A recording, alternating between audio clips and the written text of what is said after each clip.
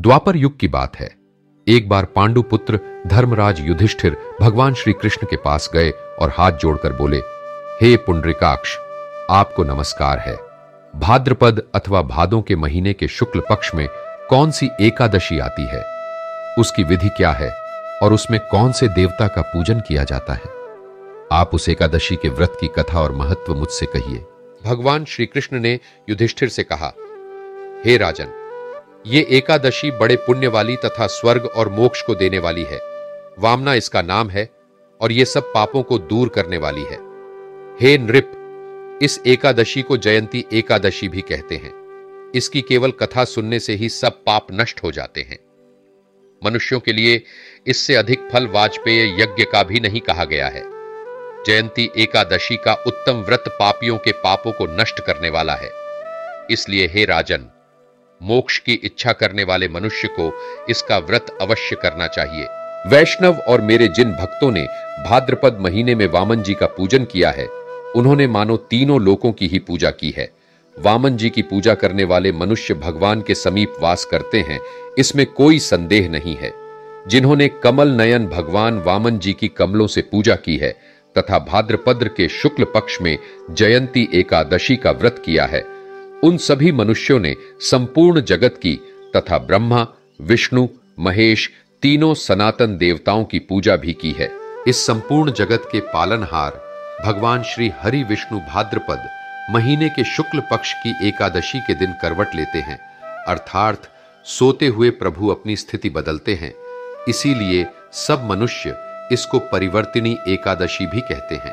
युधिष्ठिर बोले, हे जनार्दन आपकी बातें सुनकर मुझे बहुत ही भारी संशय हो रहा है। आप कृपा करके उसको सुनिए। हे देवताओं के स्वामी, आप कैसे शयन करते हो और किस प्रकार करवट लेते हो?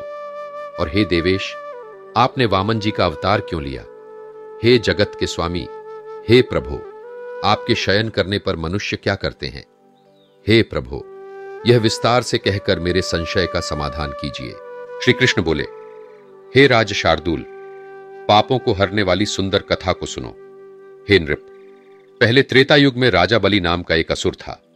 राक्षस कुल में जन्म लेने के बाद भी वो भगवान विष्णु का अनन्य भक्त था। राजा बलि, राजा विरोचन के पुत्र और भक्तराज प्रहलाद के पौत्र थे। राजा बलि अत्यंत दानी, सत्यवादी तथा ब्राह्मणों की सेवा करने वाला था। वह अनेक प्रकार के जप तथा सूक्तों से नित्य भगवान विष्णु की पूजा किया करता था तथा नित्य ब्राह्मणों का पूजन और यज्ञादि क्रियाओं को करता था। वो अपनी भक्ति और तपस्या से भगवान विष्णु को हमेशा प्रसन्न रखता था। इस प्रकार राजा बलि ने अपने तप और पूजा के कारण अनेकों नेक शक्तियाँ प्राप्त करके इंद्र के देवलोक के साथ साथ ही त्रिलोक पर भी अपना अधिकार कर लिया था। अपनी इसी भक्ति के प्रभाव से वह स्वर्ग में देवेंद्र के स्थान पर राज्य करने लगा। इससे देवता लोक विहीन हो गए।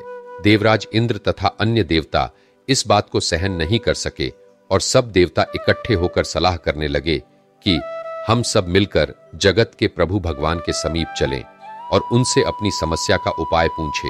इसके बाद इंद्र और सभी देवता अन्य ऋषियों के साथ मेरे पास आए।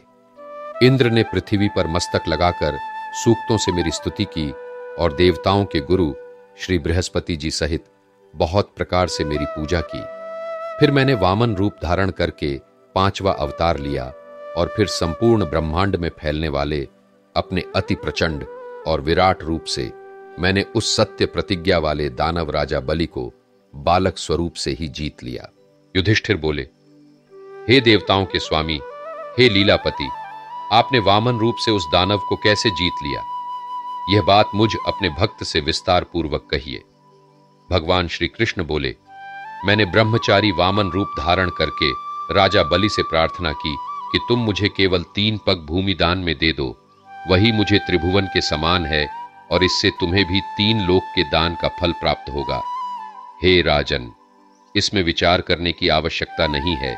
मेरे ऐसा कहने पर राजा बलि ने गुरु शुक्राचार्य के अनेकों नेक मना करने के बाद भी अपनी दान देने की प्रतिज्ञा के कारण मुझे, अर्थात वामन ब्राह्मण को, तीन पग भूमि देने का संकल्प कर लिया।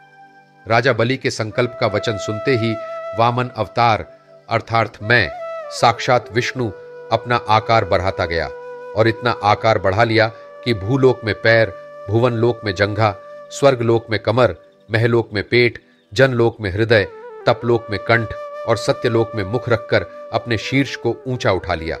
उस समय चंद्र, सूर्य आदि ग्रह और योगों के सहित नक्षत्रगण तथा इंद्र सहित सभी देवता और शेष आदि नाग, ये सब वेद से उत्पन्न अनेक प्रकार के सूक्तों से मेरी स्तुति करने लगे। इसके बाद मैंने बलि का हाथ पकड़कर कहा कि मैंने एक पग से तो पृथ्वी को नाप लिया और दूसरे से स्वर्ग को नाप लिया। हे पापरहित बलि, अब तीसरे पग को रखने के लिए स्थान दो। मेरे ऐसा कहने पर उस पुण्यात्मा बलि ने अपना मस्तक मेरे चरणों में रख दिया और मैंने उसके मस्तक पर अपना तीसरा चरण रख दिया। उस समय हे राजन मेरी पूजा करने वाले उस पुण्यात्मा दानव बलि को मैंने पाताल में भेज दिया। राजा बलि ने अपना सब कुछ सहर्ष दान कर दिया और उसके बाद भी वो पूर्ववत नम्र ही बना रहा। मुझे पूजने वाले उस बलि की ऐसी स्थिति देखकर मैं बहुत प्रसन्न हुआ और मैंने कहा कि, हे पुण्यात्मा राजा बलि, हे मान देने वाले मेरे प्रिय भक्त, मैं निरंतर तेरे पास रहूँगा। और इसके साथ ही मैंने राजा बलि को वरदान दिया कि चातुर्मास अर्थात चार माह में मेरा एक रूप क्षीर सागर में शेषनाग पर शयन करेगा, और दूसरा रूप राजा बलि के पाताल में उनके राज्य की रक्षा के लिए रहेगा। मैंने उससे कहा कि, हे बलि, मैं सदैव तुम्हारे साथ रहूँगा। इस एकादशी को विष्णु भगवान शेषनाग पर सोते हुए करवट बदलते हैं। इस दिन त्रिलोकीनाथ श्री विष्णु भगवान की पूजा की जाती है। इसमें चावल और दही सहित चांदी का दान दिया जाता है। इस व्रत में रात्रि को जागरण करना चाहिए। इस प्रकार उपवास करने से मनुष्य सभी पापों से मुक्त होकर स्वर्ग लोक को जाता है। जो मनुष्य पापों को नष्ट करने वाली इस एकादशी व्रत की कथा सुनते हैं, उन्हें अश्वमेध यज्ञ के समान फल की प्राप्ति होती है। भगवान श्री कृष्ण बोले, हे धर्मराज युधिष्ठिर, इस लोक और परलोक में सुख की इच्छा करने वाले मनुष्यों को इसका व्रत करना चाहिए। इसका महात्म सुनकर मनुष्य सब पापों से छूट जाते हैं और इस लोक में सुख भोग कर अंत में विष्णु लोक को जाते हैं। इस पवित्र परिवर्तिनी एकादशी की कथा मैंने तुमको सुना दी है। इस प्रकार परिवर्तिनी एकादशी की कथा सुनकर धर्मराज युधिष्ठिर बहुत प्रसन्न हुए और नियमानुसार एकादशी का व्रत करने लगे। अपने सनातनी होने पर हमेशा गर्व करें। श्री सीताराम भक्त वत्सल दिव्य संस्थान की प्रस्तुति। कृपया हमारे चैनल को सब्सक्राइब और शेयर करें। अपने सुझाव कमेंट बॉक्स में लिखें और हमेशा रटते रहे। जय श्री राम। जय जय श्री राम।